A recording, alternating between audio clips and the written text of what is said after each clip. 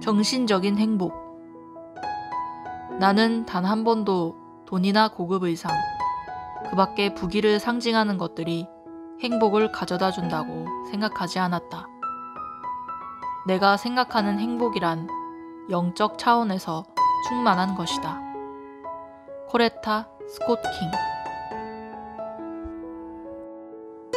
안녕하세요, 여러분. 전 세계 모든 사람들이 코로나 때문에 힘든 시기를 겪고 있습니다.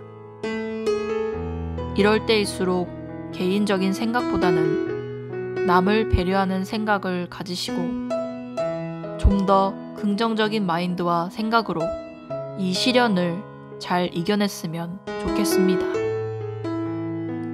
우리는 혼자가 아니며 서로 행복하게 살아갈 권리가 있습니다.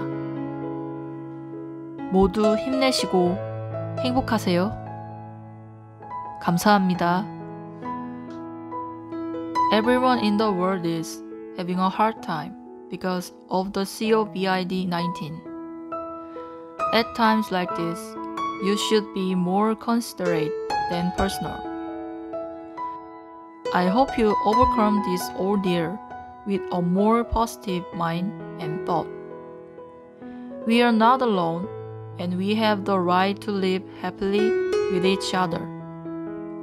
Cheer up, everyone, and be happy. Thank you.